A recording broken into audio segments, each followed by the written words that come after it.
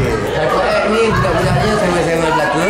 Semuanya agak unik, individu masing-masing sewel lah. ha, lepas tu konsep muzik, ha, konsep lagu, hook kita orang berlainan sebab kita orang ada trademark hook lagu sendirilah, tersendiri. Yang ketiga, the, the only band yang ada drama yang paling tua sekali dalam band sekarang ni adalah Jangan tengok muka orang tu. Jangan macam itu.